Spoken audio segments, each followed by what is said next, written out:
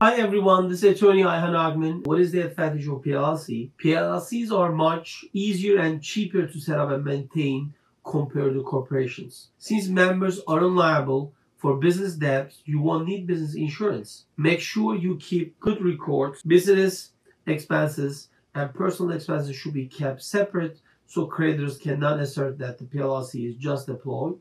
Ensure that operating agreement clearly states that the personal assets are not part of the PLLC.